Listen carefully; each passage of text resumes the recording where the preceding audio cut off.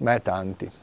Visto che siamo qua, per esempio, immediatamente direi Walter Bonatti, nel senso che se c'è stato un uomo libero nella vita, assolutamente libero, è stato lui, nel senso che ha liberato addirittura il suo, il suo spirito eh, nei, nei, luoghi più straordinari, impervi, difficili e alti della terra. Ma penso a, so, al maestro Barenboim, alla libertà che sta cercando di costruire attraverso, per esempio, la musica, eh, le sue orchestre. Gli artisti veri di per sé sono liberi, perché non si curano delle conseguenze delle proprie azioni che diventano a volte involontariamente provocatorie.